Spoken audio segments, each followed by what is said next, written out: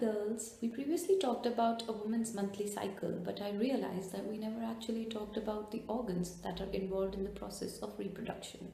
Today, we'll quickly introduce you to the female reproductive tract internally as well as externally. As a woman, it is very important for us to be aware of our bodies and be able to talk about it openly to maintain a good health and hygiene. Your lady bits that are easily visible to the eye are collectively known as the vulva or genitals. A common mistake that we make is to confuse these with the vagina. Your vagina is an internal organ and we will discuss it later in this video. As you can see in this diagram, the outermost part of the vulva is labia majora or the outer lips. It is a fold of skin covered with pubic hair.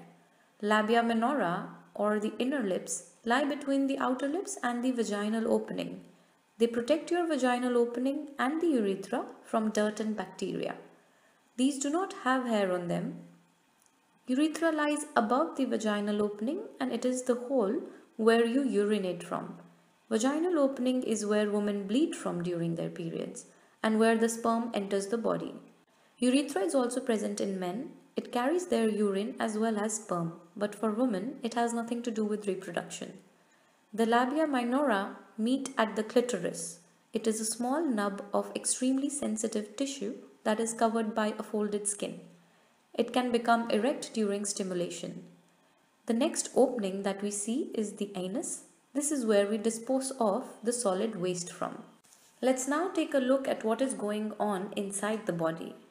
One of the most crucial internal organs is the vagina.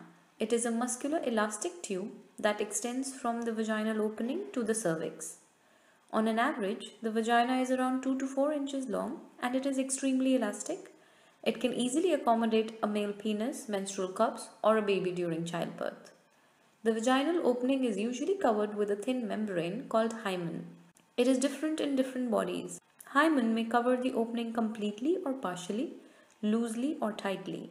It can get stretched or broken due to several reasons such as sports or penetrative sex. A common myth about the hymen is that females lose their virginity once the hymen is broken.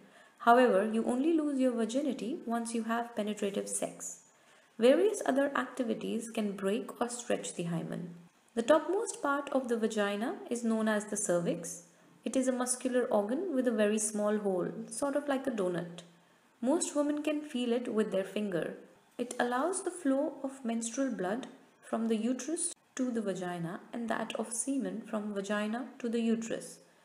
It prevents the entry of harmful bacteria and various other unwanted substances from entering inside and also stops your tampon or menstrual cup from getting lost inside the body. The uterus produces vaginal secretions known as the mucus. It helps the sperm to pass through to either of the fallopian tube along which eggs travel. It is also commonly referred to a bag where new baby known as fetus resides before it is born.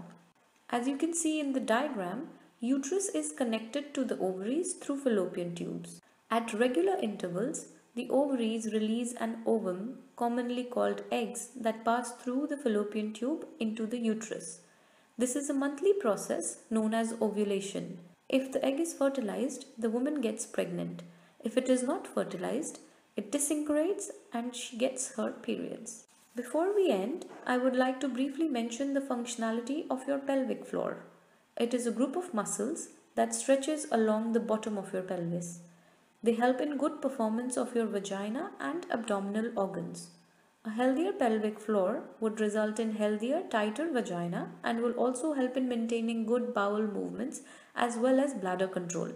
Kegel exercises can help improve pelvic floor tone.